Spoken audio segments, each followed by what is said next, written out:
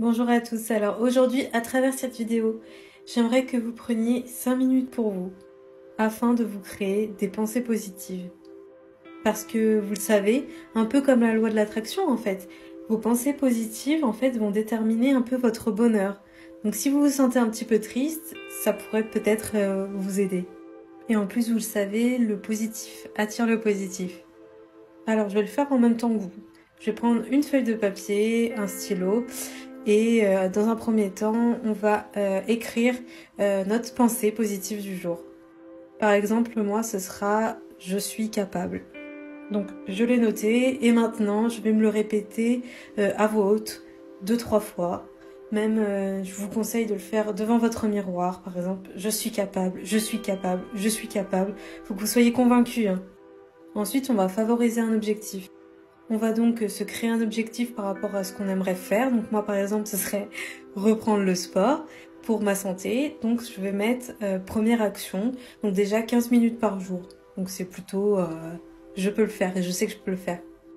En plus, dites-vous qu'une fois que vous aurez ancré cet objectif et une fois que vous aurez euh, commencé cette première action, par exemple moi c'est les 15 minutes de sport par jour, et eh ben le reste suivra.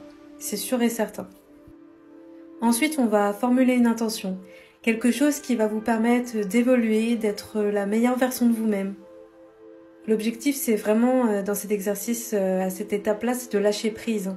Moi, par exemple, j'ai mis je suis prête à être moi-même. À vous trouver euh, quelle est la chose qui vous ferait du bien.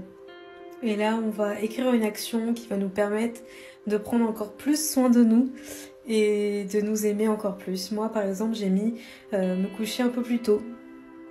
Ensuite, vous allez écrire euh, une action qui va vous rendre encore plus généreux. Euh, voilà, faut s'aimer les uns les autres. Moi, par exemple, j'ai mis faire un soin à ma sœur euh, et ma maman. Maintenant, on va exprimer notre gratitude. parce que ça, encore une fois, ça, ça attire le positif, ça attire l'abondance. Moi, par exemple, j'ai mis je remercie le ciel d'avoir une famille aimante et en bonne santé. Euh, j'aurais pu mettre je, remercie euh, euh, le ciel bah, d'être en bonne santé, moi-même, d'avoir un chéri comme j'ai. Enfin, vous mettez vraiment ce que vous avez besoin de gratifier. et pour finir, vous allez évaluer votre état actuel après avoir pris ces 5 minutes pour vous, comment vous vous sentez? Moi par exemple, bah, je me mets 4 sur 5 parce que je me sens bien. Ça pourrait être mieux, mais je me sens bien. Voilà, alors dites-moi si ce type de vidéo de développement personnel vous plaît. Ça change un peu de la cartomancie, donc je sais pas trop, mais euh, n'hésitez pas à me dire votre avis.